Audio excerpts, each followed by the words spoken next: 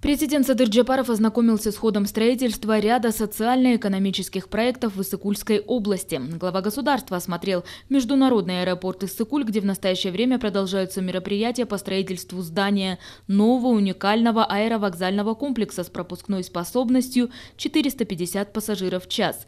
Завершение модернизации международного аэропорта Иссыкуль улучшит инфраструктуру аэропортов в регионах и восстановит внутренние рейсы, связывающие области страны. Садыр Джапаров поручил активизировать работы по модернизации данного аэропорта, которые должны соответствовать всем международным требованиям гражданской авиации. Здесь же главу государства проинформировали о текущих работах по строительству железной дороги Балыкчи, Кочкор, Каракиче, в частности проводимых на участке железной дороги Балыкчи, Кочкор.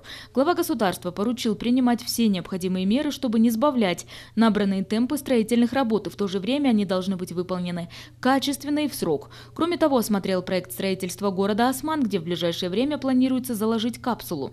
Также Садыр Джапаров выехал на место, где будет образована свободная экономическая зона Тамчи, находящаяся близ международного аэропорта Иссыкуль. В перспективе на этой территории разместят производственные помещения, туристические комплексы и иные объекты.